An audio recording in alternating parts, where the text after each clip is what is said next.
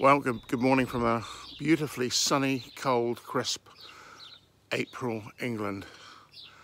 And it's uh, such a nice uh, day today.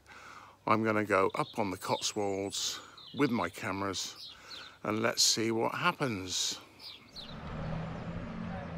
So here we are in Bibury. All rather quiet here. There are a few people here. But it's uh, a quiet morning here by the Swan Hotel. So I'm going to hopefully do a little bit of drone flying if I don't get any hassle. I've forgotten my attachments for my GoPro, so uh, hopefully these selfies look okay. And um, it's a beautiful morning, so hopefully we'll get some decent footage.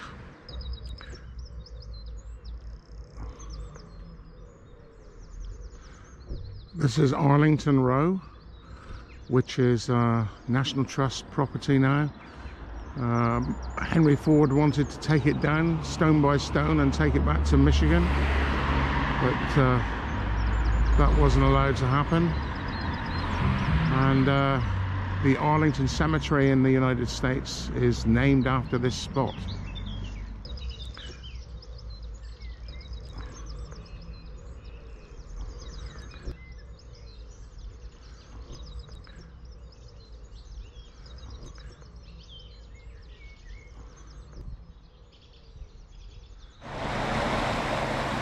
This is uh, Minster Lovell in the Oxfordshire Cotswolds. There are some places I feel comfortable putting the drone up, but I don't think I'm going to do it here. People get awfully sensitive about it. But it's a beautiful little village, as you will see. It can get a little bit uh, busy with traffic down here on a Saturday morning but uh, you get the idea of this place. Quintessential England.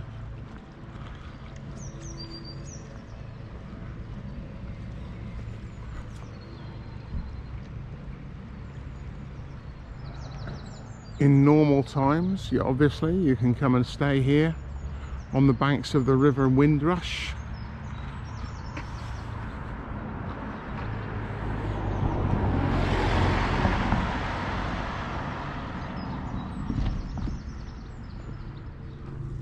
As you can see there's some beautiful thatched cottages here which are real houses not museums actually thatch is not the normal roofing material for Cotswold cottages. Most of our cottages are made of stone roofs, like the one you see here.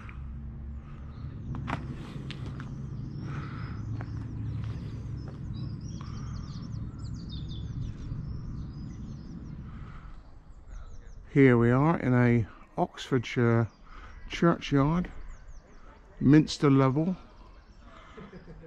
There's a bit of wedding posing going on behind me. This is Minster Lovell Hall, an old ruined residence. So this is a manor house that was built here on the Lovell family estate. This place was built in the 1400s and uh, the family estate was established here in the 12 1100s I should say. And um, but it basically went in went to ruin as you can see. Quite why it went to ruin I really don't know. We know how to find out don't we?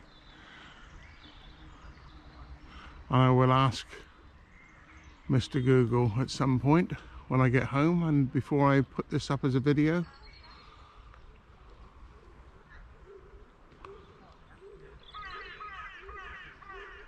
So there is somebody here walking around in a wedding dress.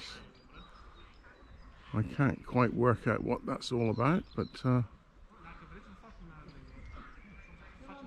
They sound Spanish.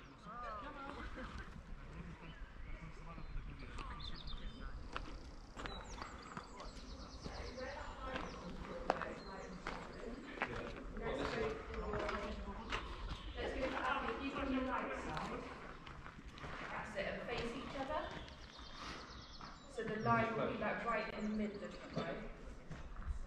Go back a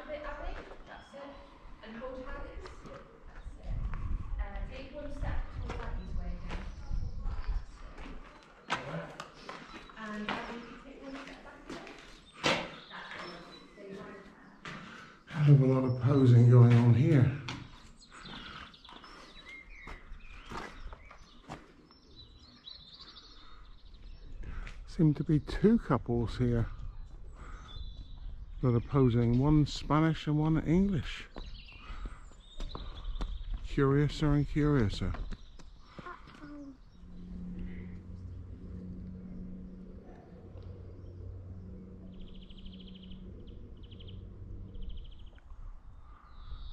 I'm guessing that may have been the old vicarage or rectory or parsonage, whatever other names they have for these places. Beautiful spot though.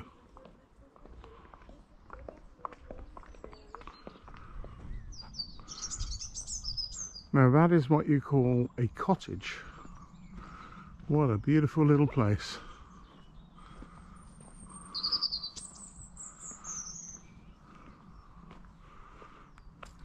Look at the stone roof. Amazing. It's called the Old Post House.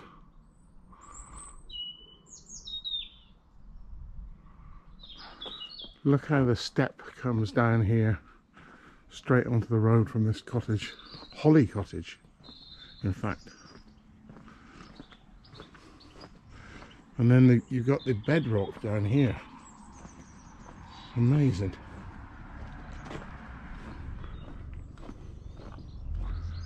Lavender Cottage.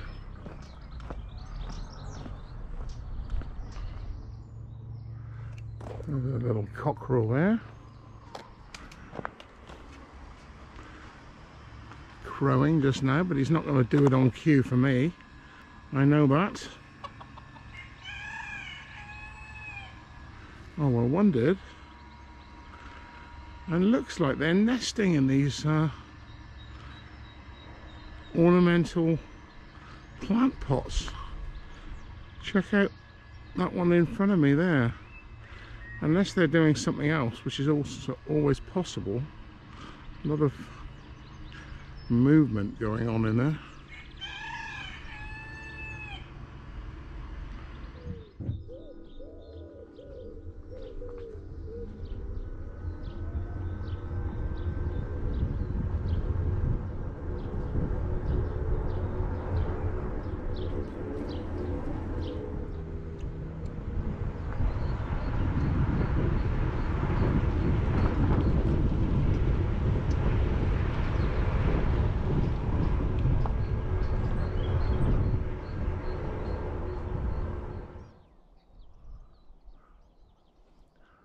What a place for a seat. What a view. So I'm now on the back road between uh, Witney and Burford, past uh, Minster Lovell. And um, I'm going to fire the drone up.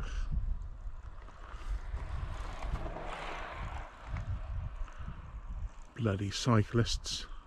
Oh, I'm one, aren't I?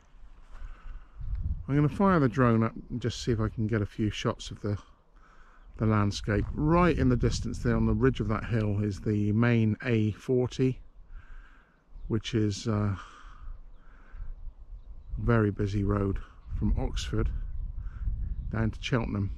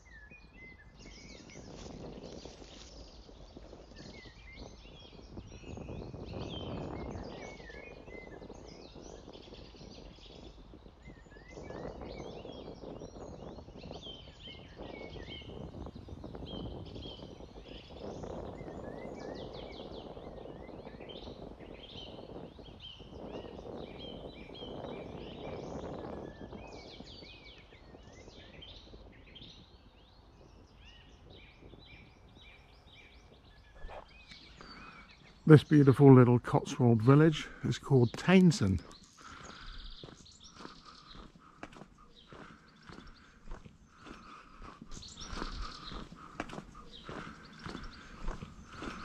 It also comes with pre-recorded birdsong.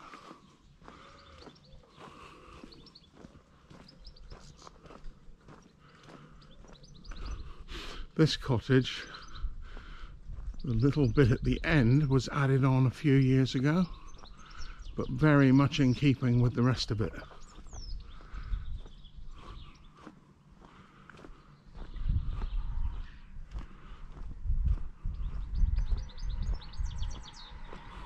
the cyclists.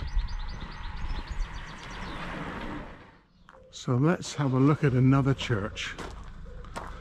This one in Taynton.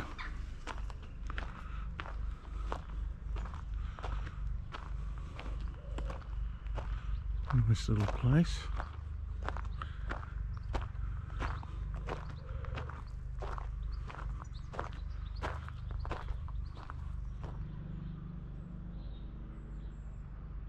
I realise uh, some people find it surprising that our churches are open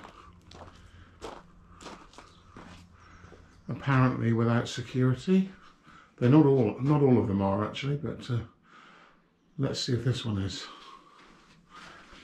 at least there's some decent people around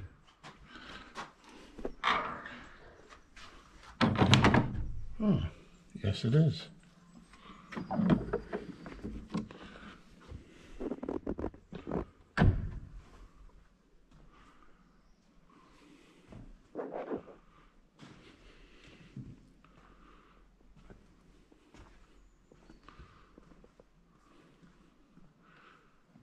Got a single bell by the look of it.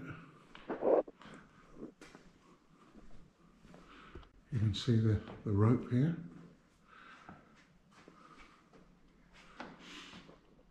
Oh, sweet little church.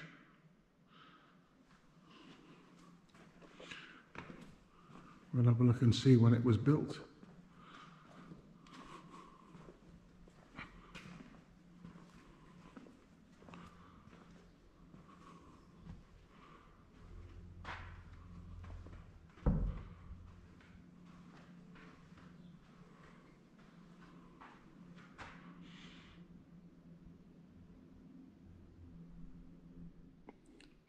I love this. A slight history of church and village. Basically, Taynton was uh, renowned for its stone, and a lot of the stone from here was used to build Blenheim Palace, which is only probably 20 miles from here. And uh, it says here that the church dates from 1450, although almost certainly there was another building on the site before that. Just come round to the back of the church so as we can see it in sunlight. Pigeon flying across. And on the ground here, you may be able to see we have primroses. Well, what a beautiful final resting place this is for those who would like to uh, end their days in a place like this. Peaceful except for the uh, rather loud, en loud engine of the mower in the background. And it's still rather nice uh, not having the leaves on the trees, you can see far more.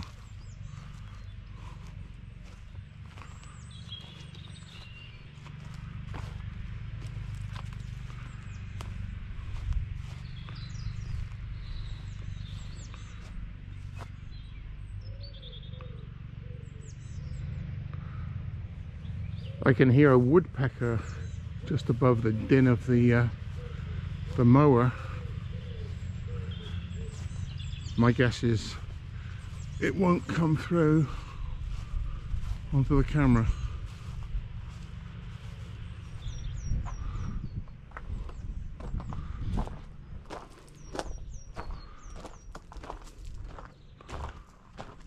This cottage looks all shut up at the moment. Probably a second home, unable to be used during COVID times. And the roof of the barn looks as if it needs some attention. Interesting how such incredibly expensive real estate and is prized to look as rustic as it does. It might be uh, a bit of a shock to see red like this, but it's a very British thing to see a phone box in the middle of the countryside. Some of them are now used as libraries. Some of them still have telephones in them. And a lot of them have defibrillators. I don't know what's in here.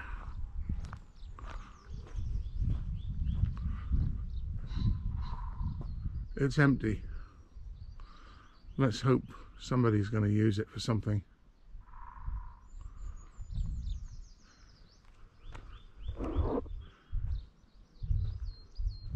You, you can probably hear the woodpecker.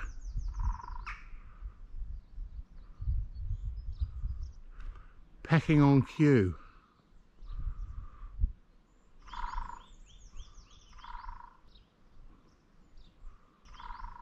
Gorgeous place. This looks like it's the private garden of the cottage behind me. Primrose Cottage. Also all locked up at the moment.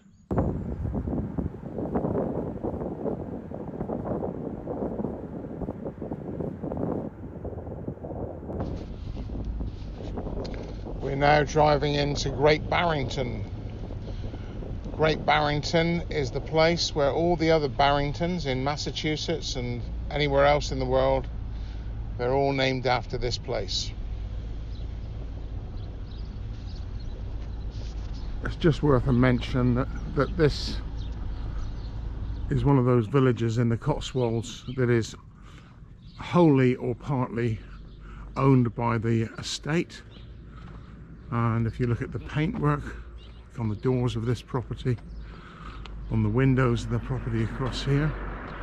Everything is painted the same color. So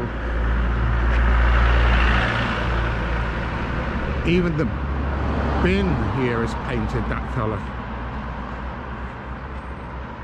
Here we have a, a defibrillator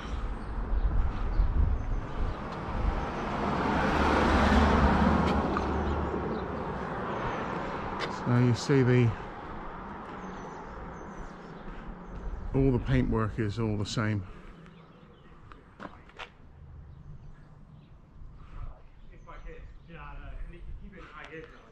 I'm not saying that there are no uh, owned properties here, but there may well not be. Lovely little cottage here in behind a yew tree with a number on the gate 46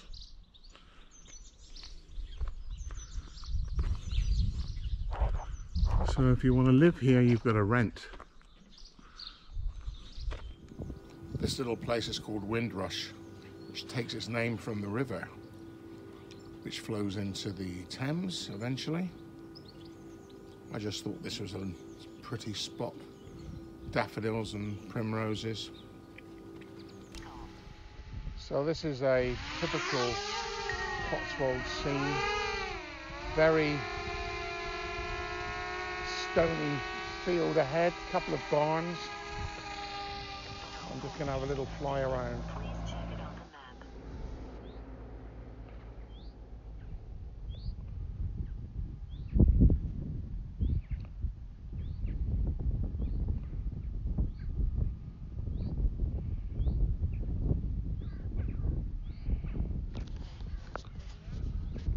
I love these old Cotswold barns.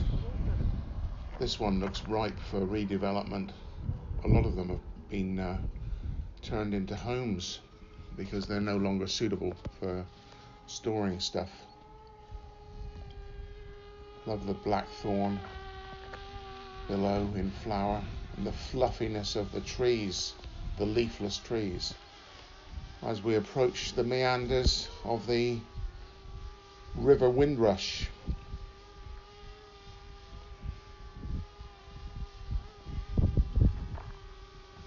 The River Windrush runs down through Burford and down towards Oxford and eventually uh, flows into the River Thames. This is just a, such a typical Cotswold landscape.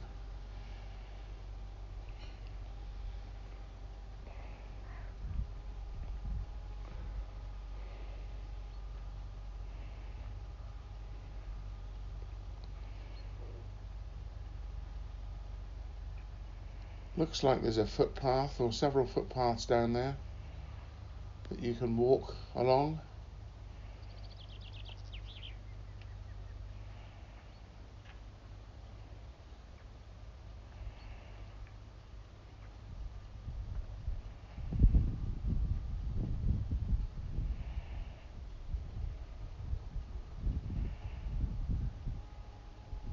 Absolutely wonderful, gorgeous.